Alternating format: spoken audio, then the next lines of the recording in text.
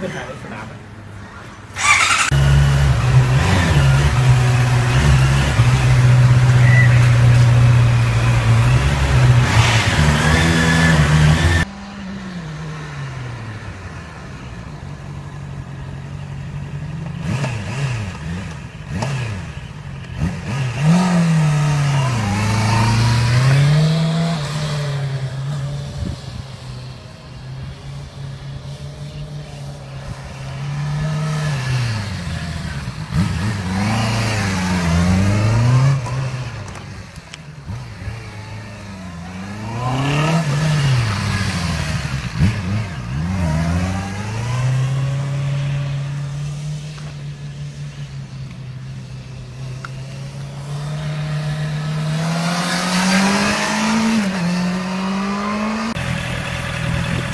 เรื่องอุปกรณ์พวกหมวกกันน็อกอะไรนี้ก็ถือว่าเป็น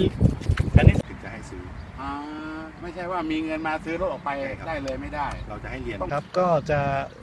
เอ่อก่อนออกรถเนี่ยนะครับ เราต้องเช็ครถทั้งหมดเอ่อก่อนจะขับเลยนะ ทั้งหมดน้ำมันยางเบรกไฟเนี่ยครับต้อง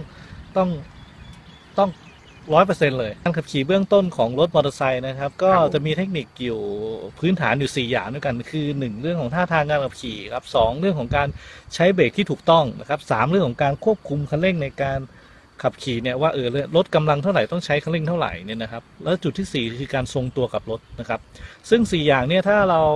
เอ่อมีพื้นฐานที่ดีในการฝึกที่ดีนะครับ เราก็จะไปเอ่อขับรถอะไรเนี่ยมันก็จะดูง่ายขึ้นแล้วก็ปลอดภัยมากยิ่งขึ้นครับ คือแน่นอนครับการฝึกบิ๊กไบค์เนี่ยคือบางคนเนี่ยไปดูแค่ YouTube แล้วไปหัดเองเนี่ยนะครับคงคงจะไม่เกิดประโยชน์อะไรครับ ซึ่งตรงนี้มันต้องใช้ทักษะในการฝึก แต่ว่าฝึกก็ยังไม่พอนะครับ ก็ต้องมีเรื่องของประสบการณ์ในการขับขี่พวกคาดการณ์อุบัติเหตุอะไรพวกนี้ฮะซึ่งตรงนี้นะครับประสบการณ์ที่เราเราพัฒนาโปรแกรมขึ้นมาเนี่ยนะครับ ต้องต้องต้องเรียกได้ว่า เรารวบรวมเคสอุบัติเหตุไว้ เพื่อที่จะมาเรียนตรงเนี้ยมากกว่าครับอืมอย่างเรื่องประสบการณ์ในการขับขี่นี่ถือมีความถือว่ามีความจำเป็นอย่างมากใช่ไหมครับคือเขาเรียกว่าเป็นเป็นคืออย่างเช่นเอ่อการประเมินความระยะทางในการเบรกหรือว่าประเมินการเอ่ออันตรายจากรถรอบข้างที่ออกมา หรือว่าจุดอับจุดบอดต่างๆเนี่ยตรงเนี้ยถือว่าเป็น สาเหตุต้นๆของอุบัติเหตุในเมืองไทยเลยครับตรงเนี้ยเราจะเน้นมากครับเรื่องของการสอนตรงนี้นะครับ นอกจากที่ทักษะเอ่อการขับขี่ที่ต้องมีแล้วนะครับ อย่างการที่คนคนหนึงจะขี่เอาบิ๊กไบค์อะขึ้นไปขี่บนท้องถนนเนี่ยสิ่งที่จำเป็นจะต้องมีสำหรับคนคนนั้นเนี่ยต้องมีอะไรบ้างครับ คืออันดับแรกเลยเนี่ยนอกจากทักษะที่เขาจะจะมีแล้วนะครับทักทักษะที่ที่เอาตัวรอดนะว่าเทคนิคการขี่ที่ถูกต้องมีเทคนิคการเบรกมีเทคนิคการเอ่อ ควบคุมรถอย่างดีแล้วเนี่ยครับก็ต้องมีเรื่องของการคาดการอุบัติเหตุ ซึ่งเวลาเราขี่รถเร็วๆนะฮะภาพที่เราเห็นมันจะแคบลงนะครับ ซึ่งภาพภาพที่แคบลงเนี่ยนะครับ เราต้องออประเมินได้ว่าอ๋อภาพถ้าแคบลงขนาดเนี้ยถ้ามีรถเยอะเนี่ย เราก็ใช้ความเร็วไม่ได้ละถูกไหมฮะเพราะว่าถ้าถ้าถ้าเราขี่ช้าลงภาพจะกว้าง แต่ถ้าเราขี่เร็วขึ้นเนี่ยาพบนถนนเนี่ยจะแคบลงแคบลงแคบลงซึ่งในรอบข้างตรงนี้เราไม่เห็นอะไรเลยนะครับ ตรงเนี้ยเอ่อในขณะที่รถเยอะๆแล้วเราใช้ความเร็วสูงอย่างนั้นนะครับก็เกิดอันตรายอย่างมากเลยครับที่ที่เราจะเกิดอุบัติเหตุนะครับครับเอ่อแล้วอย่างอย่างบิ๊กไบค์แต่ละคันกับความเหมาะสมของของคนแต่ละคนเนี่ยมันมีมันมันมันมันมันมีได้ไหมครับสมมติว่าคนตัวเล็กคนตัวใหญ่กับขนาดซีซีเนี่ยครับมันต้องมันต้องประเมินร่วมกันไหมครับจริง ๆ แล้วถ้าเกิดว่าเป็นขนาดของคนนะครับ ผมว่าไม่เกี่ยว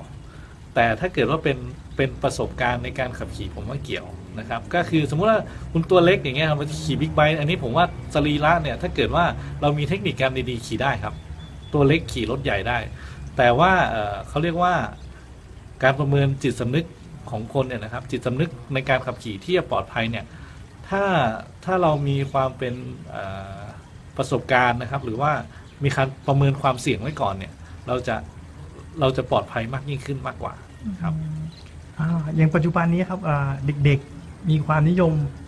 ฮะหรือชื่นชอบเกี่ยวกับเรื่องบิ๊กไบค์มากขึ้นอย่างพ่อแม่ผู้ปกครองเนี่ยควรจะต้องมีมีมีความรู้หรือมีข้อแนะนำอะไรให้เด็ก ๆ ด้วยไหมครับ คือสิ่งที่เด็กๆอาจจะขาดไปนะครับ ก็คืออาจจะเป็นเรื่องของเออเอ่อความละเอียดอ่อนในความระมัดระวัง อย่างเช่นว่าเอ่อคืออาจจะลืมคิดว่าเออ ตรงนี้เนี่ยเกิดอุบัติเหตุได้นะ ความเขาเรียกว่าเป็นความละเอียดนะครับ ซึ่งเด็กๆเนี่ยเขาส่วนใหญ่เนี่ยเขาจะจะเล่นกันแล้วเขาจะไม่มีนะครับว่าคิดจะคิดมองข้ามเรื่องความปลอดภัยตรงนี้ไปนะครับ ซึ่งการการขับตรงนี้นะครับ เราแก้ด้วยการทำให้ตระหนักว่าเออเฮ้ยอันตรายรอบตัวเราเนี่ยมันควรจะมีอะไรบ้างนะครับ ตรงนี้ต้องต้องเรียนรู้ให้เยอะมากกว่าเทคนิคการขับขี่ จริง ๆ แล้วสำหรับบิ๊กไบค์ผมว่าค่อนข้างที่จะจำเป็นนะครับ ถ้าไม่มีประสบการณ์นะครับ เพราะว่าของที่นี่เราเองเนี่ยคนที่จะมาขี่บิ๊กไบค์เนี่ยอย่างน้อยๆของเราเนี่ยต้องผ่านเรื่องของการมีใบขับขี่รถจักรยานยนต์ขนาดเล็กก่อนนะครับ แล้วก็เรื่องของการใช้รถบิ๊กไบค์เนี่ยซึ่งมันมีซีซีค่อนข้างสูงเนี่ยมันจะต้องมีทักษะที่เพิ่มเติมนะครับ ในเรื่องของการใช้ความเร็ว การควบคุม การเบรกแล้วก็การ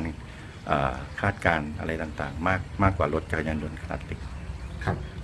เอ่อศูนย์แห่งนี้ก็ครอบคลุมนะครับเรื่องของการขับขี่รถทางฝุ่นด้วยนะครับรถรถทางฝุ่นด้วยสำหรับผู้ใหญ่ก็ของข้อสำหรับเด็กเราก็มีนะครับเป็นรถมอเตอร์ไซค์50ซีซีนะครับเราก็เน้นเรื่องของการขับขี่อย่างถูกต้องแล้วก็ปลอดภัยนะครับ แล้วก็ปฏิบัติตามกฎจราจรนะครับ